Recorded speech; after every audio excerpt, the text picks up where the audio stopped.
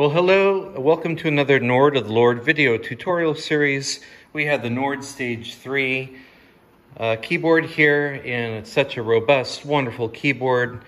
Uh, we've talked about how it's like six keyboards in one because you've got three engines, an organ engine, a piano engine, and a synth engine, and both uh, a keyboard or panel A and a whole nother setup on panel B where you get all three engines again and you can layer and mix and match and split uh, A and B or combine A and B by holding down both, hold down both again to go back to A or B. So it just, it offers virtually unlimited opportunities. Well, uh, if this will be part four today, if you haven't watched parts one through three already, I highly recommend that you do because each one builds on the next. And uh, we have done a whole overview of navigating around the keyboard. We covered uh, the organ engine in part two, the piano engine in part three, and today is this bad boy, the synth engine, in part four. And just by looking at it, you can tell it's bigger than the other two engines. A whole lot going on here. And uh, just a disclaimer, we're barely going to scratch the surface of this thing. Um, it can do so much in the way of uh, sound synthesis. Um, but I'm going to kind of get right to the most relevant parts for, um, for modern worship and what I think will be most helpful for you to know. We're not going to dive very deep with this, but just kind of help you get the basics. And so, first thing is to remember you can turn on and off each engine independently. So, come over here to the synth engine and turn it on. It's at max volume right now, and it starts you off with a sine wave. Now, um, first thing I'd like you to do, and you, you should have your test program. Um, so make one of those all if you haven't already. Just find an empty or an unnamed program and use the shift and store as to give it a name. So this is test and my initials PW. Um, and I want you to start by resetting all of the synth parameters just in case there's stuff that was already there that needs to be cleared out. And we'll probably do this a few times. Uh, don't be afraid to do this for your program. You're not going to affect any of the other programs. But it's good to just start with a total clean slate. Like if you came here and there was uh, complex stuff going on, you want to just start from scratch. You're going to hold down the shift button and then the sound uh, initialization button. So shift, sound initialization, and then come back over to this LED screen. By the way, the synth engine has its own LED screen. That's how complex it is. But come here to the main screen reset synth parameters to defaults, uh, choose OK. And now, um, now uh, we start from the beginning. And so when you turn the synth engine on, it starts by giving you a classic sine wave. Let's just take off all the effects. I hear some reverb on there. I just want to hear the very raw sound of a, a sine wave. Sounds kind of like a video game, right? Do you notice how there's just not much to it?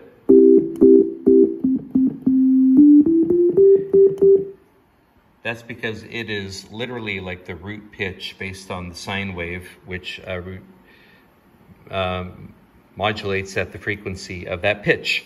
Well, um, all sounds and instruments um, and timbres are built off of these different waves.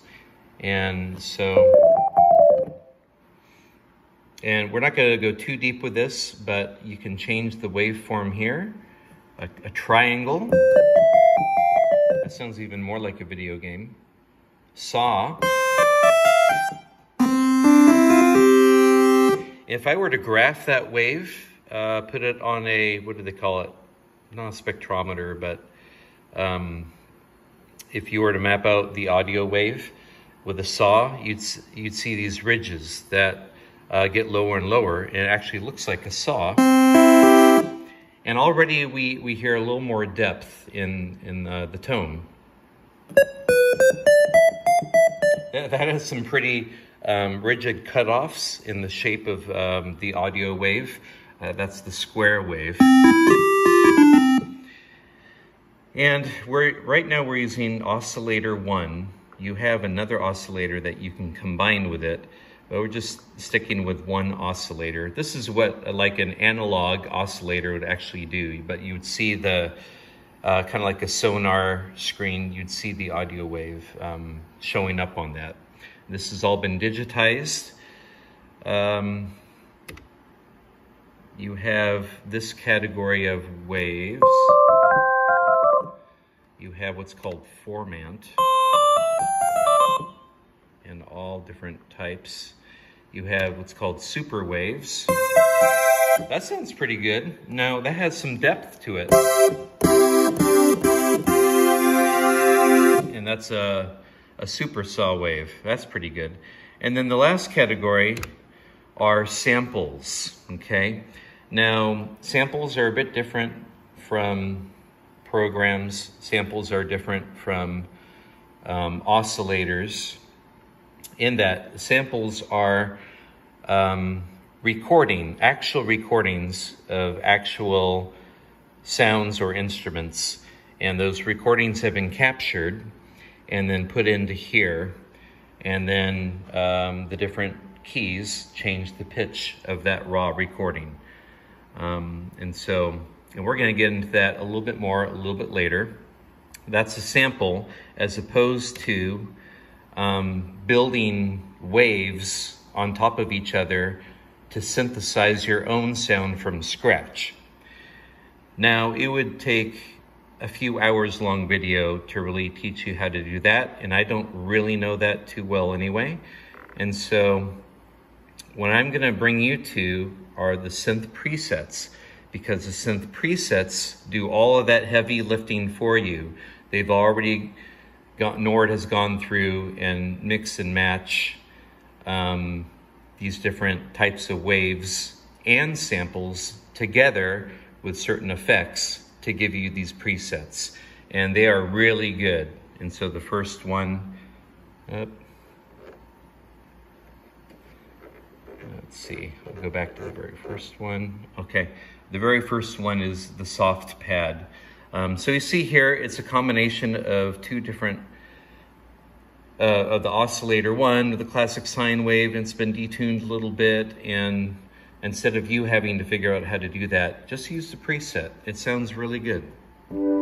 It's a nice uh, synth pad. I use that one quite a bit, soft pad one. I use these first four a lot, soft pad two. Has a little more oomph to it. I like soft pad two a lot. Warm pad one is good. Warm pad two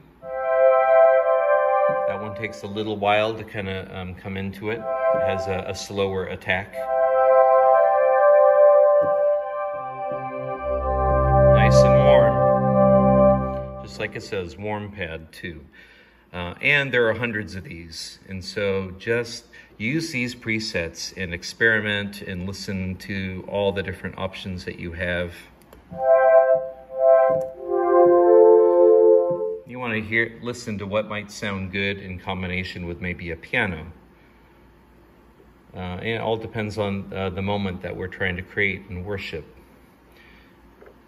But there are a lot of them. And eventually we get to, out of the pads and we start seeing other things. Oh, that's still kind of a pad. Let's see. Uh, there'll be uh, some bass, uh, synth basses. So a bunch of synth basses that you can try out. A lot of fun ones.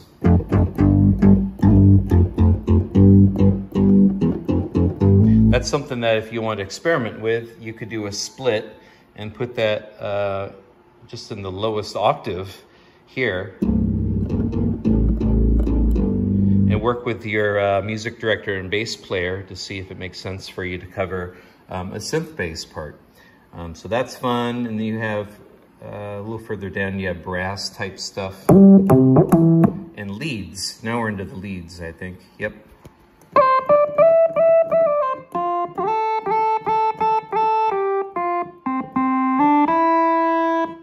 And you see this P-stick over here that uh, bends the pitch? I use it sometimes on synth leads. And so the way that you would um, activate that is, oh, I see that it, uh, the synth by default has the P-stick uh, and the sustain pedal activated. And so here's what it sounds like.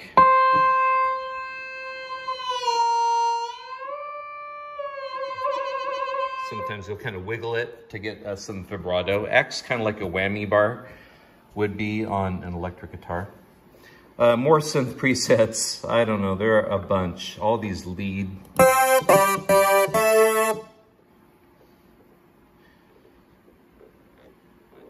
And then more brass, saw waves. Oh, that's nice.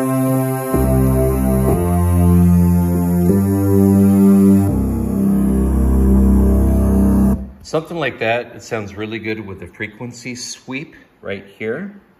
But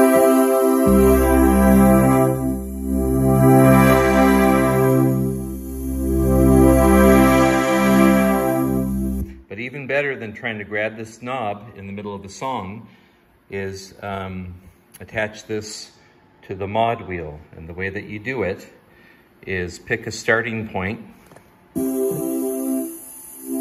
maybe right there, and an end point, probably full all the way out. I'm gonna start at three, and now I'm gonna hold down, and under this Morph Assign, hold down the wheel, and while I hold down the wheel, I'm going to move, I can't do this with just one hand, so bear with me.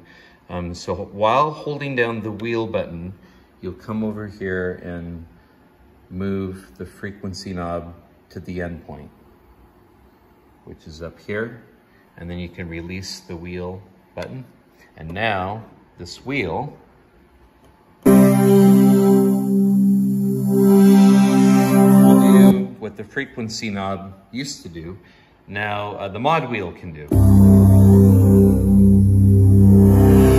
I use that a lot. Okay. So yes, these synth presets, uh, it's kind of like 90% of what I do with the synth engine is I just find the, the synth preset that I want and, um, and add it in. Okay, now there are a lot of, um, you can add effects to it. There are a lot of fun effects to put on. Like let's just uh, pick the super saw wave. Put some reverb on there, turn on reverb. It just gives it more depth and kind of helps it like ring out at the end. And um, let's put like a tremolo, like a pulsating type of effect on it. Um, so to do that, uh, I'm gonna use this first effect column. It starts on piano, double click it to advance it to synth. And I mean, there are all kinds of fun effects. Just cycle through these. That one's weird. That's kind of fun. I think tremolos are really good uh, go-to.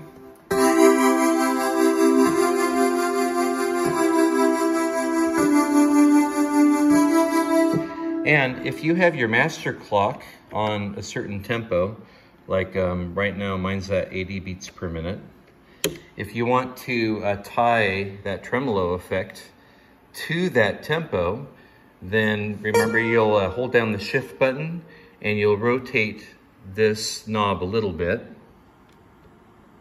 until the master clock lights up. Oops. I'm on the wrong thing. Sorry, it's right here, okay, hold down shift. Effect one, master clock is now lit up. And now um, the tremolo is gonna be attached to the 80 beats per minute, which the ma master clock has designated. And then you can change the subdivisions, eighth notes, 16th, 16th notes. Right there, sounds good. Oh, that sounds so good.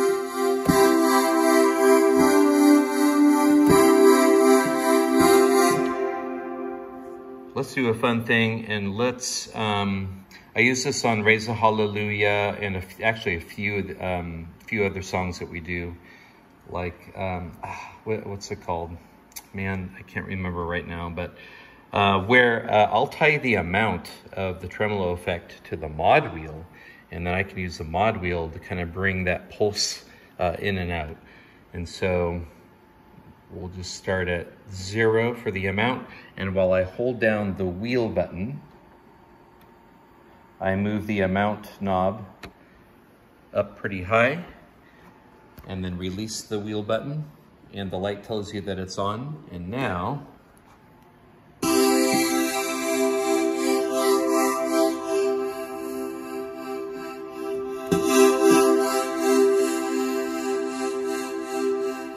so cool. So as you bring the wheel up, up and down, you're bringing in that pulsating effect, that tremolo effect more or, or less. Okay, so those are some things about synth presets. Now, uh, what we're gonna do here is we're going to clear all of this out. Um, and so by to do that, hold down shift and sound initialization. Asks you if you want to reset, say okay. Okay. And I want to show you samples. So remember, we've got classic waves, wave formant, super. Although you're pretty much not going to do much with any of those four because just use presets and presets kind of mix and match all of these oscillators and samples together to give you the finished product sound. But sometimes you want a sample, which is the fifth category. These are actual recordings of uh, actual instruments. And now you're going to use this list button to listen to all these raw samples like it starts with orchestra.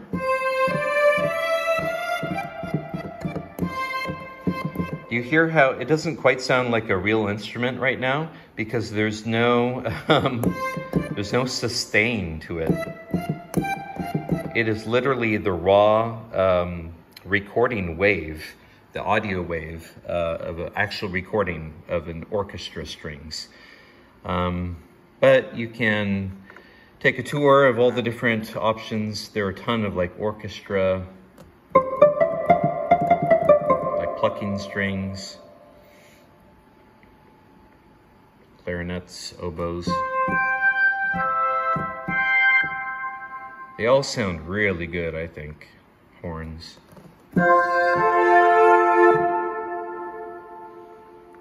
Trumpets, trombones, brass,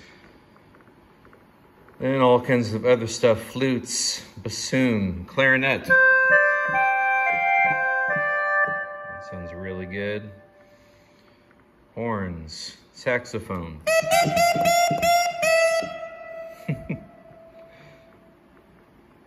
Trom more trombones. Uh, guitars. Harmonica. Oh no. Doesn't sound like a harmonica. I'm not sure what that is. Ukrainian bandura. That sounds kind of like a hammer dulcimer to me. Um, anyway, um, let's see if I can find Glockenspiel 1 and 2 I think it's number two that I like. Oh yeah, I like Glockenspiel 2, sample 169. I think uh, sounds really good, and I actually use this in a fair amount of songs, like the song So Will I. There's uh, kind of a Glockenspiel part. Now we're gonna work with this because right now, it just doesn't really sound like you're hitting an actual Glockenspiel because there's no um, attack, decay, and release. So we need to set those three parameters. And you'll find it right um, over here, kind of on the right side of your synth engine, attack, decay, release. And it, so attack is the initial making the sound, how long it takes to for the sound to start. And so if you have a fast attack, it'd be that. If you have a very slow attack, takes a long time to get started. Now, with, so with most instruments, you want a, a faster attack. And so I'm going to have it pretty much at zero. Okay, sounds like you're actually hitting the, the bell. Then the decay is if you keep the note depressed, kind of how long it takes for the tone uh, to decay to nothing. So that that's actually pretty good. It's a decay right at about uh, four if you give it a lot, it'll take longer. Um, so yeah, somewhere around four or five.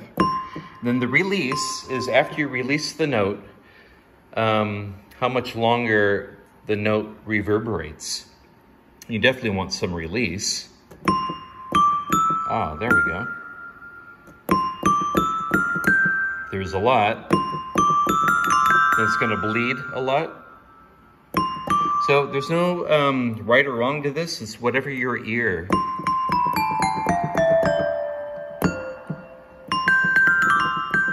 I like that. Actually, I had I had my effects on.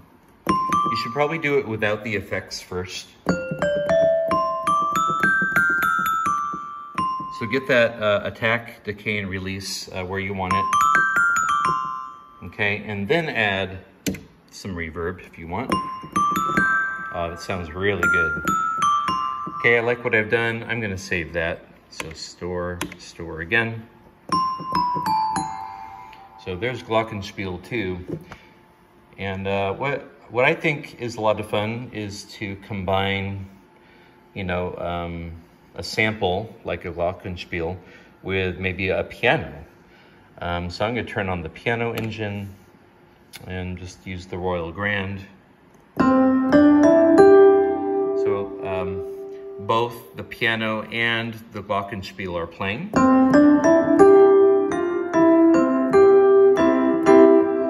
That sounds pretty good.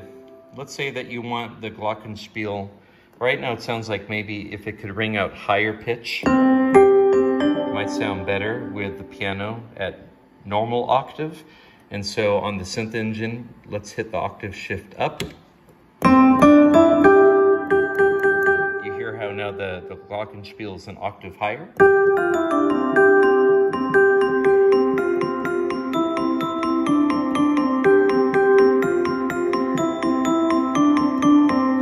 Oh, that's great. And remember, you have independent volume. So if you felt like that was too loud on the glockenspiel, you just back off the volume.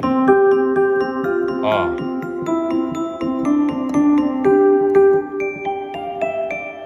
gives us some sparkle, you know? And yeah, so um, remember you've got a panel B, and so you can have a sample on one panel, and on a different panel, you could pick uh, one of your favorite synth presets. And then if you want to play them both at the same time, uh, hold down A and B.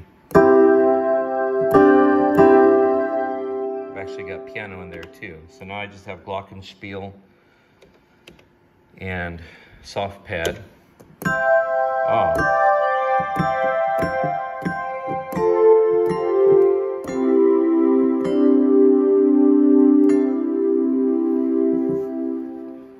Okay, so those are some of the basics. Two things.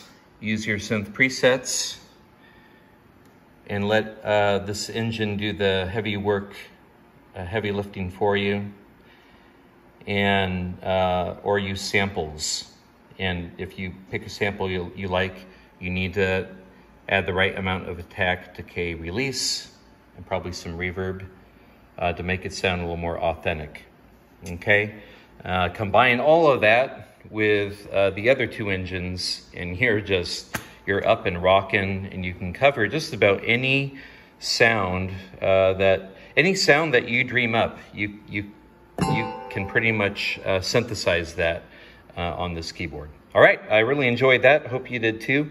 And stay tuned for next part where we put it all together.